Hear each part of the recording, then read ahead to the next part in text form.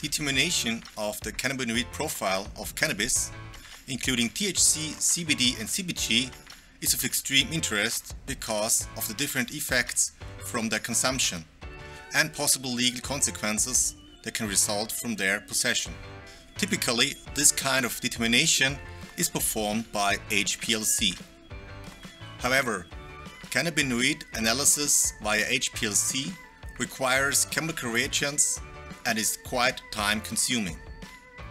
With the Metrohm DS2500 solid analyzer and the cannabis pre-calibration, quantifying THC, CBD, CBG and even moisture content in cannabis samples is possible in less than one minute, without using any chemical reagents.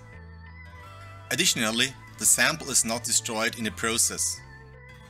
You only need to fill the mini sample cup with the dried flower material. Place the cup in the DS2500 solid analyzer and then close the lid. In Vision Air, select the corresponding operating procedure and press Start.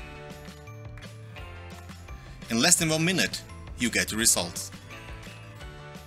Measuring cannabis with NIR spectroscopy is fast, reagent-free and simple.